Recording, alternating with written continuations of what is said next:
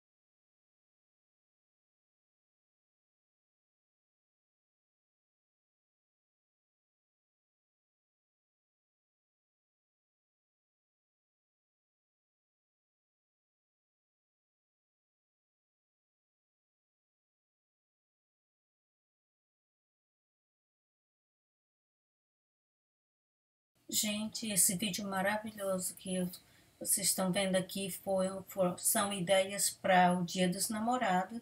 Eu espero que vocês tenham gostado desse vídeo. Se gostaram do vídeo, não se esqueça de deixar o seu joinha, se inscrever no meu canal e também de ativar o sininho, gente, para ver quando as novidades vão estar chegando no meu canal.